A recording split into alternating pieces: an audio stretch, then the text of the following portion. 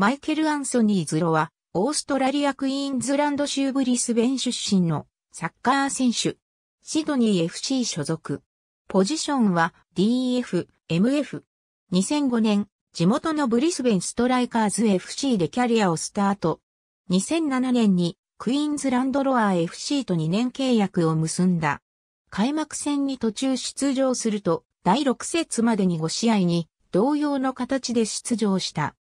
出場6試合目となったウェリントンフェニックス FC 戦で初先発の座をつかむと開始早々にゴールを決め、その数分後に親友で若手のロビー・クルーズが追加点を決めた。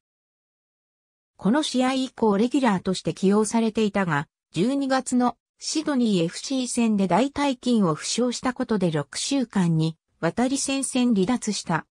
2008から09シーズンの終わりにエールディビジの FC フローニンゲンと NEC 内目編からオファーがあったものの、A リーグでプレーを続けることを望み両クラブの申し出を断った。2010年4月2日、同僚のトミー・オアー、アダム・サロタと共に、オランダの FC ユトレヒトに3年契約、移籍金180万オーストラリアドルで移籍した。2011年2月8日、1から1と引き分けた NEC 戦で81分からピッチに立ち、移籍後初出場となった。2015年7月14日、メルボルンシティ FC に1年契約で加入。2016年5月11日、シドニー FC へ移籍した。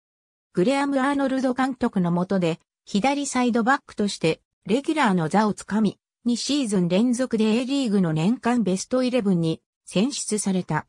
ブリスベンロアーでのプレーが認められ、U-23 に初招集されると、イラク戦で初出場し2から0で勝利した。